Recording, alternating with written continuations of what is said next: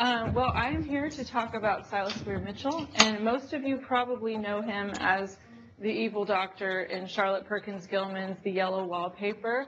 If you've read that book or seen the exhibit, he did treat her during her 1887 rest cure unsuccessfully. She didn't really enjoy the cure at all. And he was also the inventor of the so-called rest cure for nervous women. So um, he was he devised this particular treatment, and he was a very prominent Philadelphia neurologist and novelist. Yes, he was also a novelist. He wrote something like 13 novels. He was, if nothing else, a very, very busy man. So he accomplished quite a lot in his fairly long lifetime. He was born in 1829, died in 1914. Didn't really get to see much of the First World War, but that's probably a good thing. Um, so Mitchell's reputation today is kind of bifurcated. Among neuroscientists, he has a reputation of being one of the greats. He's a medical hero. He's the father of American neurology based on his work on nerve injuries during and after the Civil War, particularly his work on phantom limb pain, which was really groundbreaking. But among literary critics such as myself and some cultural historians, Mitchell has been seen as a medical misogynist because of the way he treated Gilman and some of her uh, contemporaries using the rest cure. Um, so really different reputations among these two groups. Um, when I first went to the College of Physicians of Philadelphia to look at his medical archives, I was expecting to find the correspondence and diaries of a medical villain, of an evil genius, but it wasn't really like that at all. He's much more of a complex individual than that. Um, I also want to say that he wrote a ton of fiction which almost no one reads or critiques today, and I think that's a shame. Um, I think especially people should be reading The Case of George Dedlow. the short story, very graphic, very interesting. I think you would really enjoy it, especially as medical students. Okay, so the question I want to ask today is Mitchell, medical hero or medical misogynist? And of course, the true answer is yes, he was both. but it's even more complicated than that. Um, I wanted to pose the question because I think the traveling exhibit that you guys have seen casts him more in the latter light as a villain, but he, he did do a lot of interesting things that he deserves to be remembered for. So I want to talk about his research first. Um, this talk will be divided sort of into two parts with a third kind of interspersed throughout. Um, the first is Mitchell as medical researcher, why neurologists love him, in other words, um, his work up to and during the Civil War. The second part is his later and slightly less reputable part of his career, his rest cure for nervous women, and the alternative, the West cure for nervous men, which was a lot more fun. Um, and finally, I'm going to talk a little bit about his novels, his 13 novels, his short stories, his poetry. That's going to be interspersed in little bits and pieces throughout the talk. So first of all, Mitchell as medical researcher. Well, he um, was not the best student early in life. He was a late bloomer by his own admission. So he studied medicine at the Jefferson Medical College in Philadelphia, quite a respectable school nowadays, but back then, if you were really a hotshot, you went to UPenn or Harvard or somewhere like that. So um, he wasn't the strongest student starting out, but he decided to rectify this once he had discovered his passion for science by spending six months in Paris after graduation studying with Claude Bernard, who is known as the father of physiology. And um, Bernard was an early proponent of the scientific method in medicine, which back then they didn't really do that all the time, so that was important. His work was based on a lot of experimentation with live animals, which was also unusual in medicine at the time, and it really influenced Mitchell's medical research. He would in turn use a ton of live animals in his researches, which put him very much ahead of the curve in America back then. Um, America was kind of a medical backwater in 1850. If you really wanted to study medicine seriously, you went to the continent. So that's why Mitchell spent those six months with Claude Bernard in France. He also did another rather interesting thing in Paris. He learned, he came into a little bit of money. So he purchased a very high-end microscope which that in and of itself put him at the cutting edge, the forefront of medicine in his time, um, because not a lot of U.S. physicians had microscopes. Not a lot of physicians anywhere had microscopes. This was a new thing. This was a big deal. Um, so when Mitchell took over his medical practice, or the family medical practice from his father in 1858, he was ready to take a cutting edge look at medical care and also to carry out some scientific research of his own. In his spare time, he conducted a number of scientific experiments in addition to carrying on a full medical practice. And I mean, this man kept crazy hours. Like he'd stay up till one or two in the morning and get up at five or six. And he just really was passionate about his research and really wanted to make time for that. Um, with very little reward. I mean, he wasn't being paid for this. It was just his own interest. So one of the interesting things he did prior to the Civil War was he published researches on the venom of the rattlesnake in 1860. And this was the first of approximately 15 articles on rattlesnakes that he wrote. He was really fascinated by the snakes and their venom.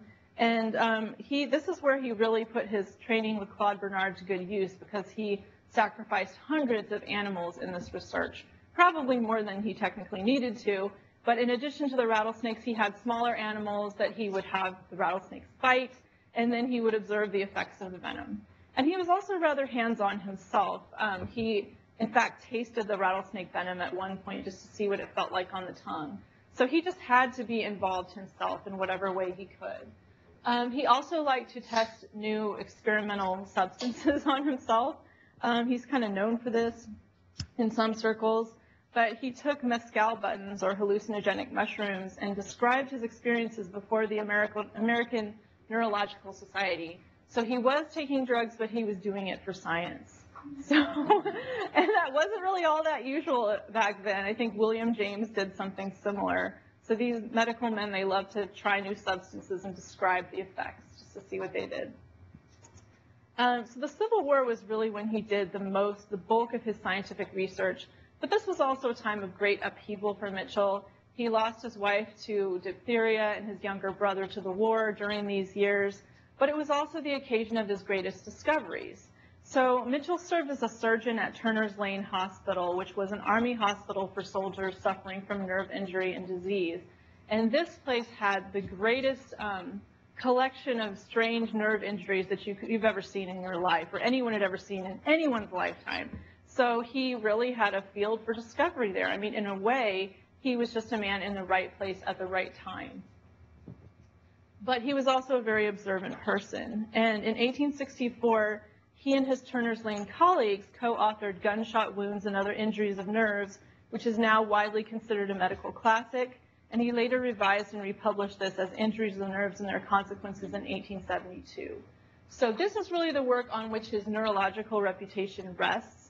It's still seen as very good and very um, contemporary in terms of the way he describes nerve wounds. Um, in particular, he's known for his meticulous descriptions of phantom limb pain.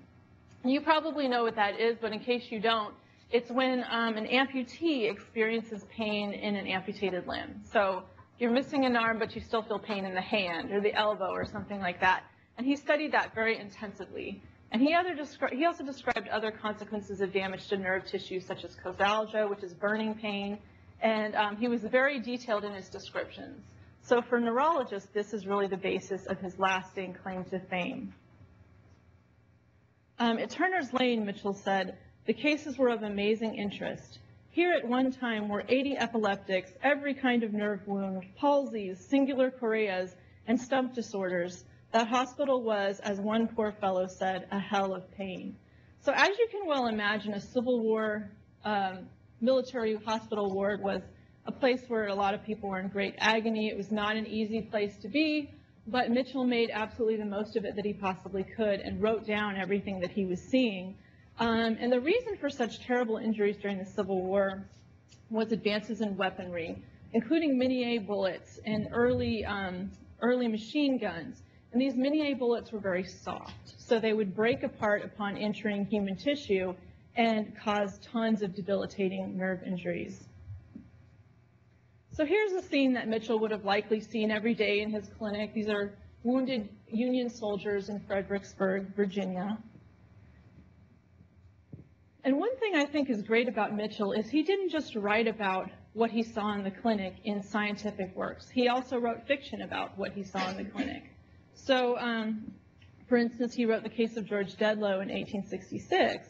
And this was a short story that was based on his wartime experiences with nerve injured soldiers was published in the Atlantic Monthly, um, was a great success, and it details the experiences of a fictional quadruple amputee during the Civil War. Now, just to tell you this, um, there were no quadruple amputees during the Civil War. They didn't have good enough surgical techniques, um, so people were really lucky to survive one or even two amputations like this poor fellow here. Um, it was very unusual, and I don't think it would have ever happened that you would have seen a quadruple amputee. Oddly enough, nowadays that has happened with the Iraq wars um, and the Middle East wars recently, and there's at least five, possibly more quadruple amputees in America, but um, at this time there were none. So this is a totally fictional situation. And anyway, the hero, Union Army surgeon George Dedlow, loses his limbs to battle an infection until he is, quote, nothing but a useless torso, more like some strange larval creature than anything of human shape. So Mitchell really wanted to explore what does it mean to a man when he's literally a fraction of his former self, because he loses all his limbs. So the minor characters in the story are really great too, because they showcase all of the weird diseases that Mitchell was seeing at his clinic. So um, all sorts of nerve injuries and things like St. Vitus's dance, paralysis, causalgia. The minor characters depict very realistically what it would be like to have those conditions. And so realistic was Mitchell's tale that some readers actually tried to visit the fictional protagonist at the Philadelphia Stump Hospital, which was his euphemism for Turner's Lane, and they tried to donate money to the hospital and they tried to donate money to the fictional protagonist. But unfortunately, since he did not exist, they could not donate money. But that just shows you how realistic Mitchell's tale was. People thought this was a real man. Um, one thing I think is really cool about this, as someone who myself does medical humanities work, is he's not just writing as a scientist, he is exploring patient experience what it might have been like to be a Union Army soldier who lost all four limbs. I mean, gosh, why not explore that? Um, and his, his fictional writing was sometimes in advance of his scientific writing. For instance, it's in the story, not in his science, where he first describes phantom limb syndrome. So here's a case where his fiction was in advance of his science. I think that's really interesting. And another thing that's interesting about this is Mitchell posits a neurological, not psychological cause for phantom limb pain. So many doctors at the time would have said, you know, so if your limb's cut off and you're feeling phantom limb pain, that's in your imagination. You're being hysterical because you have no limb. How could you feel pain there? But Mitchell said, no, that's a real neurological phenomenon because if the limb has been cut off improperly and the nerve tissue damaged, you can definitely still feel nerve pain in an absent hand and an absent arm. So he posited a neurological, not a psychological cause for this pain. And this scene here just shows you some of the many Civil War amputees. Amputation was very, very common during the Civil War, but again, there were no quadruple amputees, mostly single amputations. Um, so the Civil War is really, really important to Mitchell in his whole life, in his whole works. Um, after the war ended, Mitchell was so traumatized by what he had seen in the wards and with his family that he experienced a physical and mental breakdown he had to go to Europe for a while to, you know, have some spa cures and enjoy himself and, and rebuild his health. Um, and then he revisits the Civil War again and again in his novels, all of which were written in the 1880s and after, so long after the Civil War was over. But five of those 13 novels are set during the Civil War. So that tells you psychologically he never really got over it. He had to keep reprocessing these experiences. And finally, on his deathbed, Mitchell imagined that he was back at the Battle of Gettysburg treating wounded soldiers, which he actually did because they needed surgeons desperately to treat the soldiers at Gettysburg. And apparently this left such an impression on him that in his dying, you know, delusions and ravings, he imagined that he was doing this. So the Civil War really had a huge impact on him. Okay, next I want to talk a little about the less reputable part of Mitchell's career that neurologists don't give him much credit for, the uh, Rest Cure for Nervous Women and the West Cure for Nervous, nervous Men. And in a way, this whole part of his career was sort of a happy accident or unhappy accident, depending how you look at it. Um, Mitchell actually developed the major components of the Rest Cure during the Civil War. So for these men with nerve injuries, not much can be done or, other than giving them like morphine or something like that. So he would um, try rest, a high-calorie diet, massage and electricity to stimulate resting muscle tissue. And, um, you know, with enough time, these men would rebuild their nerve tissue just through rest and, and feeding. That's what he hoped. Um, and eight years later, when he was dealing with a similarly um, rather hopeless class of patients, he decided to return to the same methods and see if it would work. And these hopeless patients were nervous women who were thin. They had been to every doctor and nobody could help them, and they were sort of recalcitrant cases. And so he tried this with them and apparently had some success. Um, and he started working in 1871 at the Philadelphia Orthopedic Hospital and Infirmary for Nervous Diseases. And this is where he first came across such women. And that same year, 1871, he wrote a little book called Wear and Tear with Hints for the Overworked. And this book was about neurasthenia, which is a fashionable nervous disorder of the 19th and early 20th centuries. The symptoms were very capacious. They could include depression, fatigue, anxiety, uh, everything we now class under, or Freud would class under the neurotic illnesses, right? Plus um, insomnia, headaches, all kinds of physical symptoms. In one of the early books on neurasthenia, the description of symptoms is eight pages long. So anyone could have neurasthenia and potentially, but these were people who seriously had it. And this book, Wear and Tear, sold very well, and Mitchell was really surprised by this. He just sort of dashed it off in a week or two and thought nothing of it, and all of a sudden it was just selling like hotcakes, and he was an overnight celebrity. And he thought, how did this happen? I wrote gunshot wounds, I wrote injuries of the nerves based on painstaking research over many years. And all of a sudden, for this little tract on how not to overwork yourself, he gets famous overnight. So just, he was as surprised by that as anyone else, I think. But that definitely shaped his future career.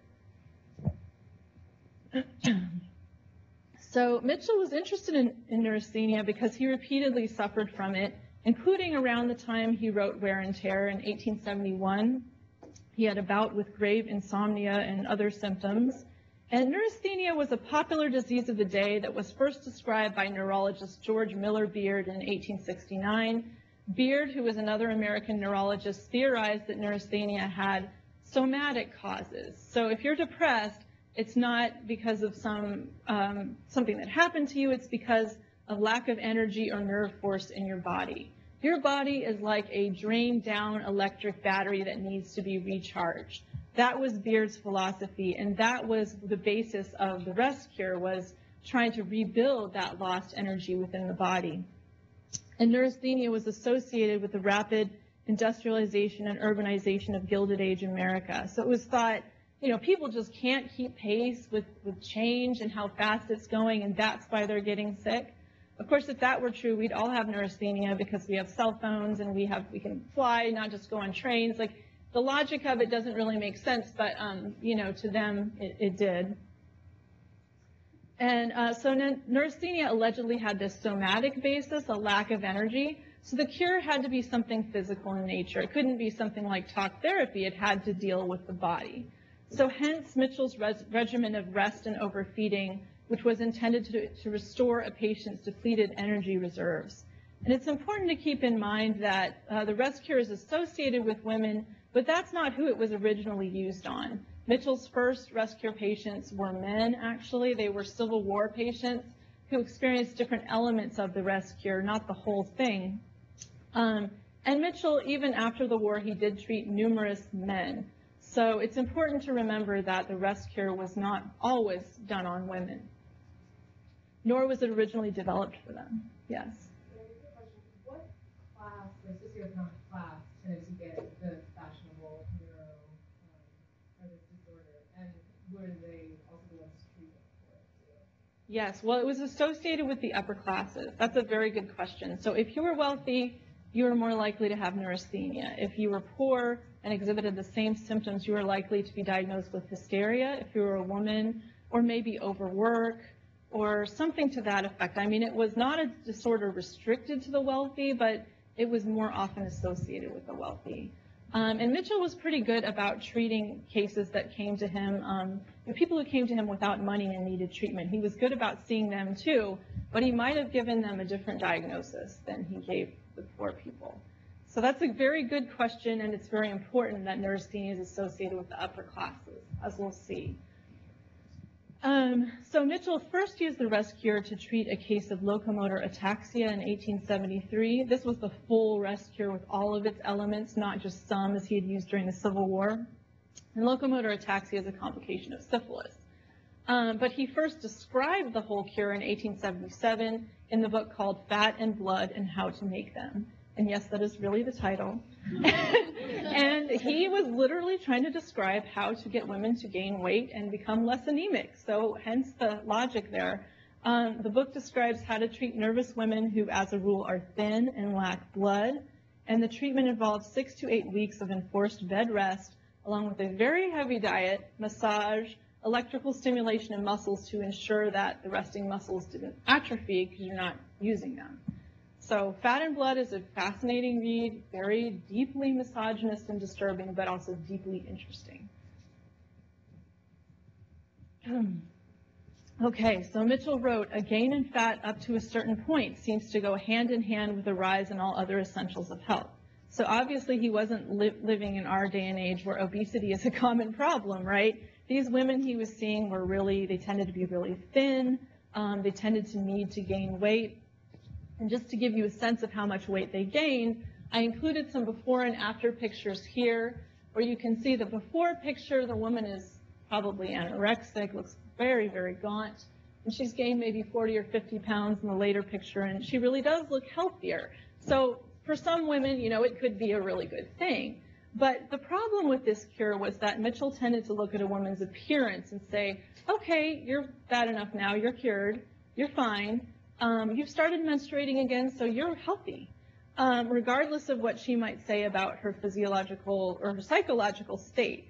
So, for instance, the narrator in um, The Yellow Wallpaper tells her husband she's still feeling anxious, and he says, Well, but you've gained flesh and you've gained color, so I'm not worried about you anymore. And that's kind of how Mitchell was, too.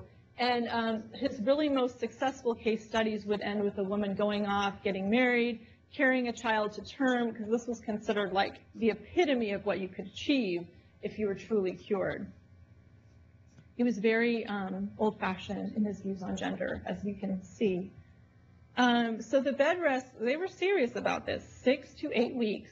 You couldn't even get out of bed to use the bathroom. You know, they had bedpans for that. And you had to even ask the doctor's permission to sit up or turn over. So you were really stuck in that bed. The patient also could not read, sew, feed herself, or have contact with friends or family during this time.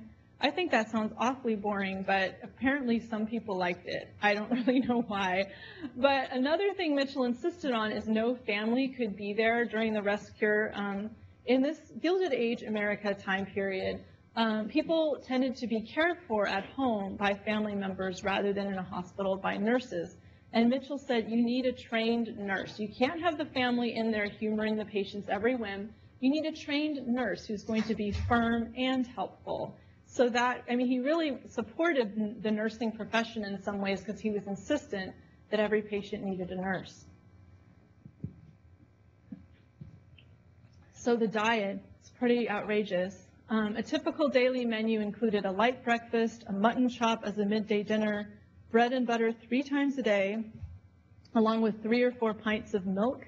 And as you can imagine, this caused some side effects. Um, they had to have iron supplements too for um, the anemia, doses of strychnine and arsenic as nerve tonics. We now know them to be poisons, but they were thought to be nerve tonics, and cod liver oil to treat the attendant constipation that would inevitably come with such a diet. As you can well imagine, um, it's a lot of meat and a lot of milk.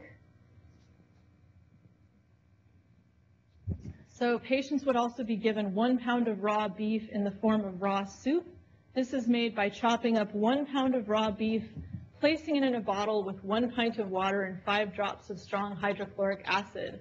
So he was basically feeding patients like a blood-like mixture, like treating them like vampires, which I think is a little bit crazy. Um, but that's what he really did. And patients who refused this diet might be force-fed through the nose or rectum, or rarely whipped to ensure obedience. So he was serious about beef and discipline.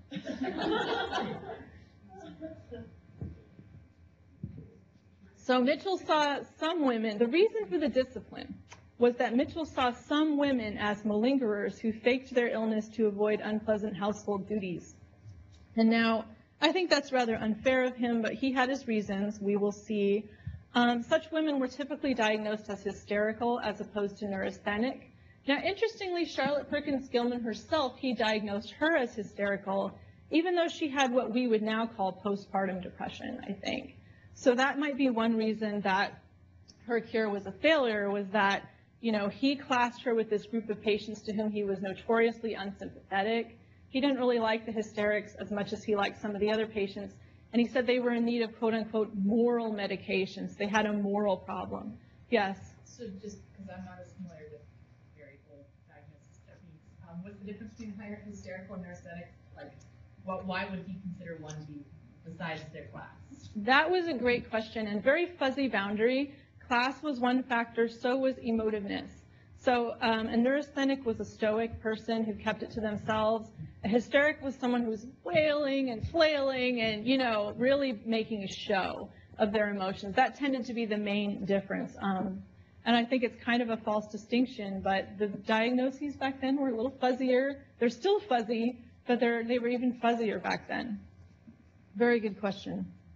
Um, so he compared such women to men who had faked illness to shirk service in the Civil War. And unfortunately, this was, this was something he saw a lot of at Turner's Lane, and he and his colleagues had been very skilled at detecting and punishing such men. For instance, maybe they'd give them like latrine duty or something to make them more motivated to return to the front. So when he saw women who he thought were overly emotive, hysterical, exaggerating their symptoms, he said, well, maybe this will motivate you to, this rest cure will motivate you to go back home and take care of the kids like you should be doing. So he even admitted in Fat and Blood, the rest I like for female invalids is not at all their notion of rest. To lie abed half the day and sew a little and read a little and be interesting and excite sympathy is all very well, but when they are bidden to stay in bed a month and neither to read, write, nor sew, and to have one nurse who is not a relative, then rest becomes for some women a rather bitter medicine, and they are glad enough to accept the order to rise and go about. So he's remarkably honest about the punitive function that the rest cure could have for some women, not for all. Um, so in his fiction, he provides a vivid picture of such malingering, hysterical invalids as he saw them. In his 1886 novel Roland Blake, for example, Mitchell portrays a couch-loving invalid, Octopia Darnell, whose name comes from her clingy nature. She liked to, you know, grab and hold on to her relatives and drain them of energy. And she has the singular pale golden complexion of a woman originally dark-skinned and now lacking blood. So that anemic, you know, pale skin combination, thin, that he usually saw in his patients. And Octopia is very clingy and drains the time and energy of those around her. So um, particularly, she exerts a damaging influence on her relatives, including a young cousin named Olivia, who's pictured at left, um, Mitchell writes, the exactions of her nervous, sickly cousin were surely sapping the life of the younger woman, and Octopia's demands include a longing for kisses and physical petting from her cousin. So there's kind of this lesbian overtone and incest overtone to this story. And um, I thought that was rather crazy when I first read it, but they did associate lesbianism with neurasthenia and with hysteria back then. So if you were a woman who had a mental health condition and you exhibited signs of lesbianism, that might have been connected, the two might have been seen as connected. And maybe that's why Mitchell was so insistent on a nurse, because he was afraid of this lesbian activity breaking out amongst the patients and their caretakers. I know that sounds crazy, but it is a theme running through Fat and Blood. It's a very important theme. Um, so Mitchell wrote at length about the danger of nursing invalids like this. He said, it is the self-sacrificing and over-careful sympathy of a mother, a sister, or some other devoted relative. Nothing is more curious, nothing more sad and pitiful than these partnerships between the sick and selfish and the sound and over-loving. By slow but sure degrees, the healthy life is absorbed in the sick life, the nurse falls ill, and a new victim is found. I have seen a hysterical, anemic girl kill in this way three generations of nurses. So he's very, very negative towards these women. And he also compared sick women to vampires. So I just think he had been reading too much gothic fiction. That's my take on this. Honestly, I think he was being, he's getting a little crazy there. Um, he also might have just gotten very fed up with these invalids after a while. Because, you know, people when they're sick are very needy. as I'm sure med students already know. Or if you don't know, you will soon find out sick people are very, very needy. But he shouldn't have taken his anger out on them in this way, clearly. Um, so was the rest cure effective? Uh, why did people do this at all, right? I think it was effective if you were severely underweight. Um, you would gain 40 to 50 pounds sometimes, so if you were really desperately underweight, it could be a good thing, I guess. Um, it was also a relatively benign alternative to the treatments that were offered in the day, including institutionalization, or hysterectomy and ovariotomy. Um, it was thought then that a woman's uh, reproductive organs were intimately connected with her mental health. So if you're having problems with depression or anxiety, maybe if you just remove the uterus, the woman will be fine. This was the logic back then. Um, and uh, to his credit, Mitchell did not do this. He thought these surgeries were a very bad idea. So to the extent that the rest cure was replacing these other treatments, I think it was a good thing. Um, at least that can be said for it, for sure. And believe it or not, some, some women actually liked Mitchell's cure, which I think is a little strange. But including some intellectual women, such as Amelia Gere Mason, who was an author, and she described his cure as autocratic but effective. And interestingly, she went on to be good friends with Mitchell for 30 years, and they wrote each other over 200 letters. It's a very reciprocated friendship. They were really um, good friends.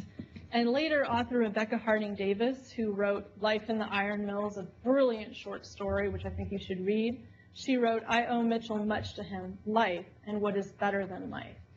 And still other women admired Mitchell for his literary and medical celebrity, and they would go to him just to be like, I have a famous doctor. This is so cool. He talks to me too. It's like really exciting.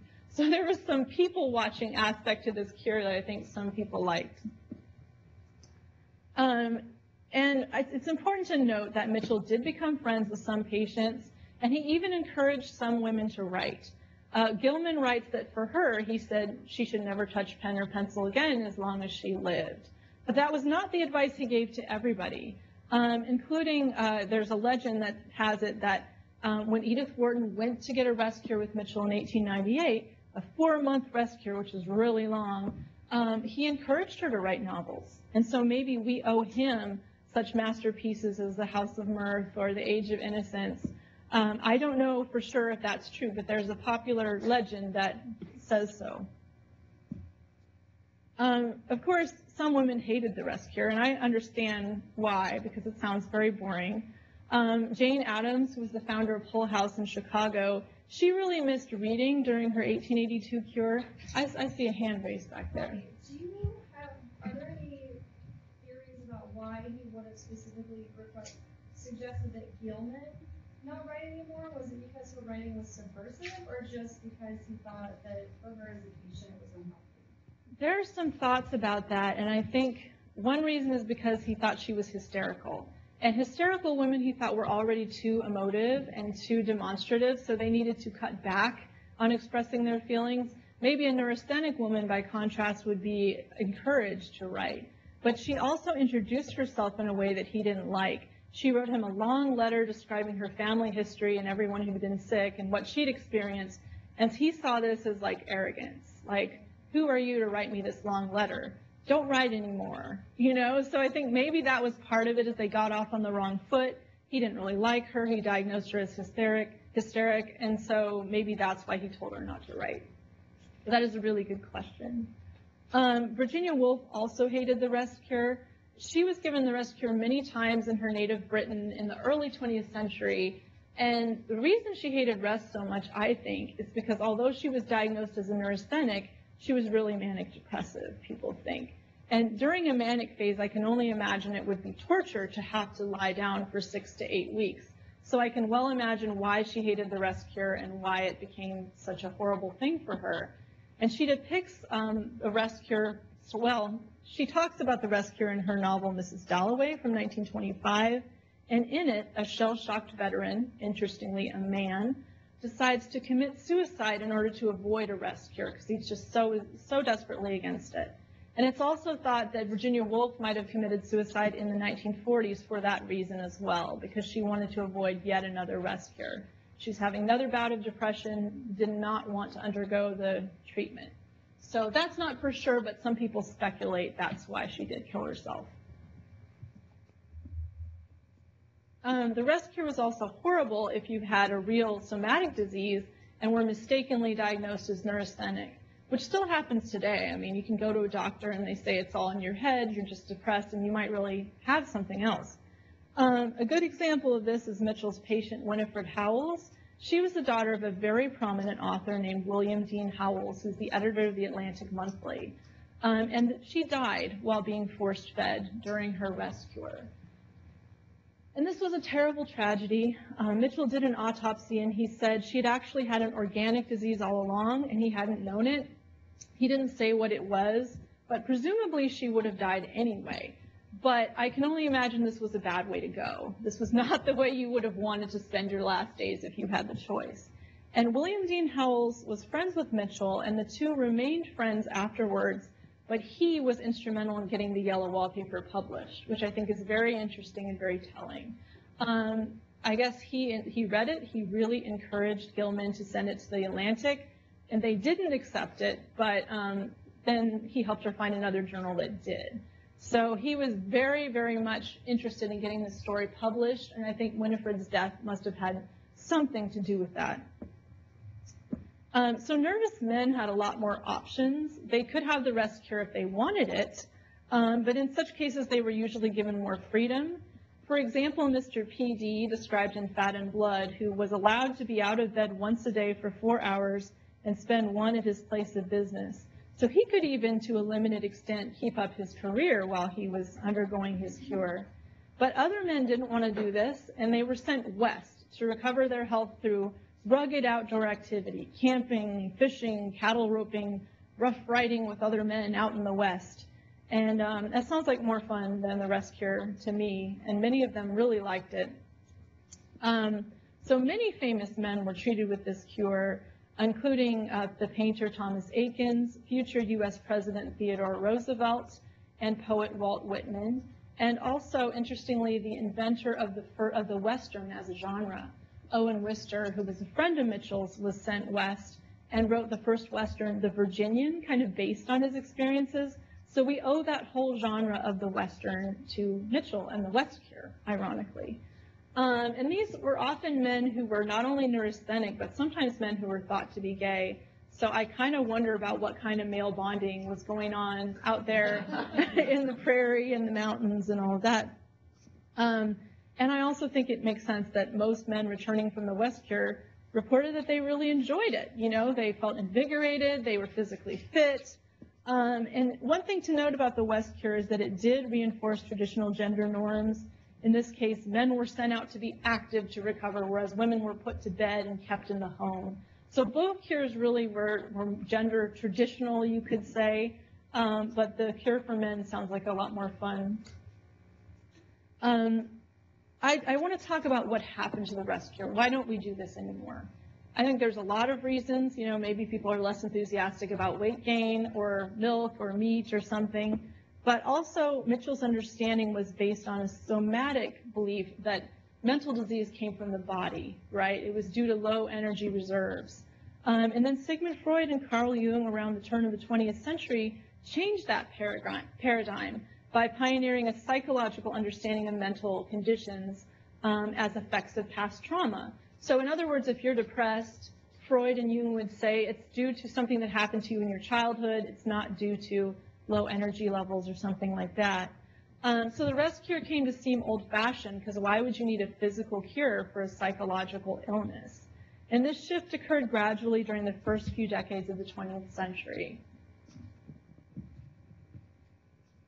Um, I think interestingly, now the pendulum has swung back again, and we've returned to Mitchell's point of view that um, mental illness is somatic in nature. Although now we think of it as the result of some undefined neurological problem. Generally, we don't know, but I think um, we understand, for example, depression to be sometimes the result of chemical imbalance, and there are other theories, but we're coming to a greater understanding of neurology causing mental illness, not necessarily past trauma, although that can also play a role, of course. Um, thankfully, bed rest is no longer the treatment of choice, but it is still prescribed for complicated pregnancies. And I think that's interesting that the one place I know of that the, um, that bed rest still exists in medicine is where, you know, it's women. It's to do with women's gynecological problems. And that's where we still use it. So not much has changed in that regard. Um, I want to end with a sort of controversial question. I recognize this is controversial, but how much are we different from Mitchell? How much have we progressed? Because like Mitchell and his contemporaries, we think mental illness has a physical basis. We treat it with drugs instead of rest, but that's still a physical cure. And women still make up the majority of patients. Just to give you one statistic, around 20 to 25% of US women are currently taking a prescription antidepressant, and that's 2.5 times the rate of men. So if you think about that, we're still treating women as guinea pigs or as sort of, you know, our, our cases, our typical cases of mental illness. So things have changed, but maybe not enough. So I just want to leave you with that and also with this list of sources for further reading. Um, many of them are very short and very interesting articles about the rest cure. So thank you.